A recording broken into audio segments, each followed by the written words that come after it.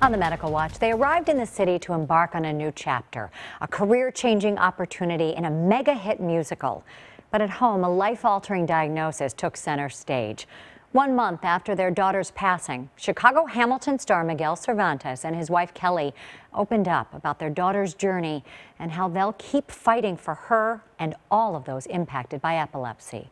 For the first time, I'm thinking past tomorrow. Each night, as her husband Miguel told the story of Alexander Hamilton on stage, Kelly Cervantes documented her family's story online. It was important to me that people saw her the way that we saw her as this feisty, opinionated little Wonder Woman who was strong as hell and, and fought every day of her life. With hundreds of social media posts, a weekly blog, and eventually a podcast, she logged countless hours at her computer, eloquently describing the complexities of daily life in the Cervantes household. Sometimes her husband would take a turn. At the end of the day, I'm a dad that goes to work and has a pretty sick kiddo at home.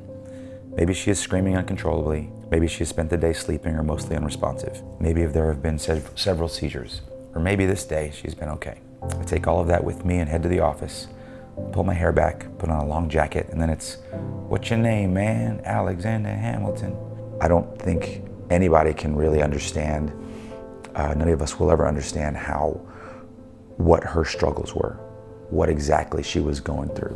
Whenever she could or would turn and look and maybe stop and listen, you could see how strong this little person was. Kelly and Miguel's daughter was born in October 2015 and joined Big Brother Jackson. But within months, it was clear Adelaide wasn't reaching the typical milestones. As Miguel was in the midst of auditions for the lead role in Hamilton, Chicago, Adelaide was undergoing medical tests. Everything I've ever dreamed of, everything I've ever wanted as an actor, everything I've ever wanted as a performer, and this unbelievable tragedy that's going on, finding out that your child is very, very sick, all wrapped into the same moment. And if I could have given it all back, I would. If I could choose a healthy child and not Hamilton, I would choose the child. But we don't get those kind of choices. Adelaide was diagnosed with a severe form of pediatric epilepsy known as infantile spasms. But there were other coexisting conditions lack of muscle tone, breathing problems, and severe allergic reactions, all made even more complicated by her daily seizures. The root cause, an underlying neurodegenerative disease doctors could not identify.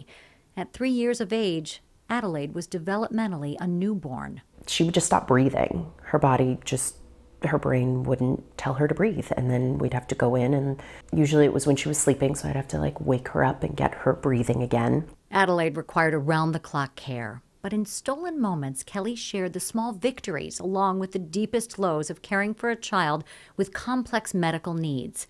Readers were captivated by Adelaide, and Kelly and Miguel used the platform to make an impact. We've embraced this life, and we will continue to yell and scream until something changes.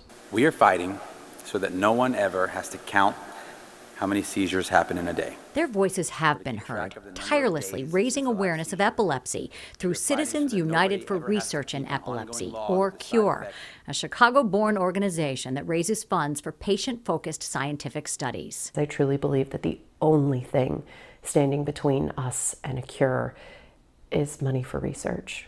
We just need science. Science didn't catch up to Adelaide, but I will make it my mission to make sure that it catches up to a family down the road. Earlier this year, an MRI brought devastating news. Her brain was degenerating, and there was nothing that we could do at that point. By the end of the summer, when she was awake, she was crying. And nothing we could do could comfort her. That's when Kelly and Miguel transitioned Adelaide to hospice care. Kelly wrote about the decision on her blog, an entry titled Dear Adelaide. Dear Adelaide, I imagine this may be as tough to read as it was to write, but it's time. You will not be getting better this time. The skills you have lost will not be regained. I am so sorry that your body has betrayed you in this way. A short series of posts followed, sharing moments from Adelaide's final days before she passed away at home in October.